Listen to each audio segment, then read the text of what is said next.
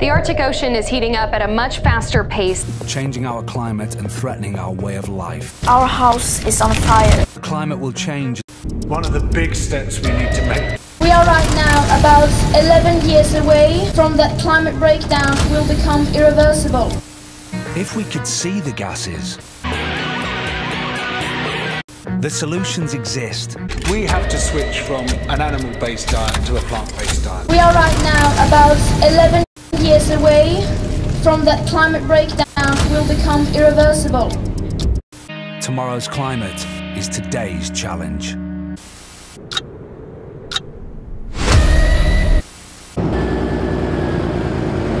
Campaigning over the last few months has got definitely much more intense. and vegan comments. Words like murderers, rapists,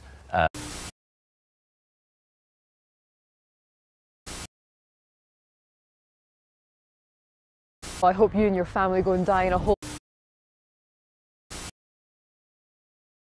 There are three words uh, rape, murder, and slavery. Daddy, she says. I don't want to eat animals anymore. We've made some changes to our old favourite,